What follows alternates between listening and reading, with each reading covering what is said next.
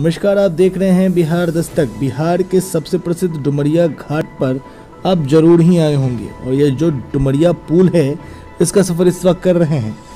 देख सकते हैं किस प्रकार नीचे नदियों में उफान के बावजूद ऊपर पुल की क्या स्थिति है। हाल ही फ़िलहाल यहाँ पर कई बार कई गाड़ियों के नीचे गिरने की खबर भी आती रहती है। परंतु डुमरिया घाट की जो स्थिति इस वक्त तस्वीरों में आपके सामने है, इससे आप अंदाज़ा लगा सकते हैं कि डुमरिया घाट पर जाना या फिर डुमरिया पुल के सहारे सफ़र करना कितना भयभावक होता होगा। बिहार सरकार इस पर दशकों से संज्ञान नहीं ले रही है। दशकों से इस पुल का हाल इसी प्रकार से जर्जर पड़ा हुआ है। तस्वीरों को देखकर आप अंदाज़ा लगाइए कि किस प्रकार यहाँ के स्थानीय लोग प्रतिदिन यहाँ से आते जाते होंगे, या फिर कोई सफ़र कर रहा व्यक्ति जब इस पुल से गुजरता होगा तो कितना भयभीत होता होगा। मन में किस प्रकार की डर होती होगी? तस्वीरों के साथ साथ ये जो नदियों में उफान है, वो देखिए, किस प्रकार गंडक में उफान है।